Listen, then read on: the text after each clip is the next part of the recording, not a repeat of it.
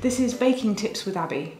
Today I'm going to be showing you how to ice some gingerbread men biscuits, which you will find a recipe for in the cookie and biscuit kit.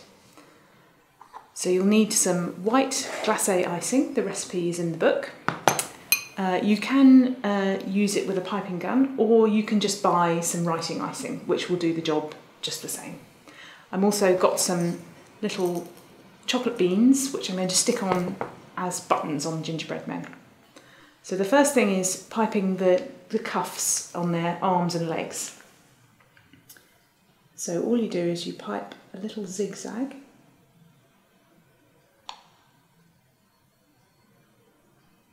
across each arm, like that, and across each leg.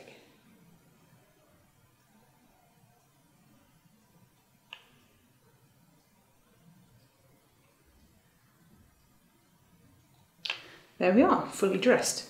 Next is the face, um, and it's very simple. We're just going to do two dots for eyes and a smile, but we're going to do little dots at the edges of the smile as well, in the same way as we do for the eyes.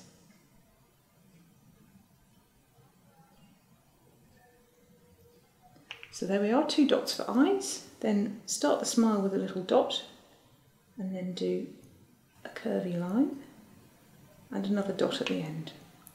And if you find that there's too much icing coming out of your gun to finish off, it can help just to pull back on the plunger a little bit and that will stop the flow of the icing.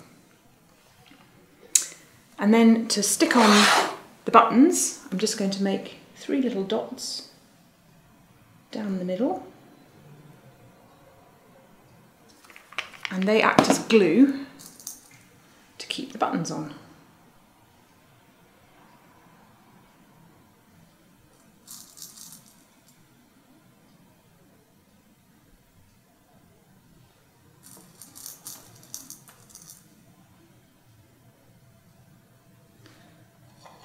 So there we have our gingerbread man. So now I'm going to show you how to make a bow tie on your gingerbread man. So I filled the gun with some green icing, or you could use any colour of writing icing as well. So I'm going to start off by making a little blob and then going along, then making another blob and going along so that you've got a little heart shape and the same on the other side, but leaving a little gap in the middle. And then we're going to go into that gap and just make a little round blob for the knot. So now I'm going to teach you a technique which is often used for icing biscuits and cookies and it's called flooding icing. And what you need for this is uh, an icing gun with some glacé icing in, made up according to the recipe. And uh, I'm going to pipe an outline with that and then I'm going to add a little bit more water to the icing, put some in the icing gun and then fill in the middle of the shape. So this is one that you can't really do with writing icing in the same way. So we'll start off and I'm just going to, I've got a heart-shaped biscuit and I'm just going to outline the heart. So go all the way around and join up with where you started. And it's important that you don't leave any gaps because otherwise when you flood the biscuit with icing, it'll run out.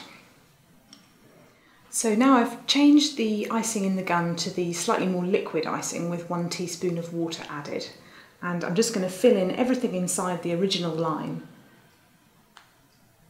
And because it's slightly more liquid, it all joins together to make a really smooth, glossy surface.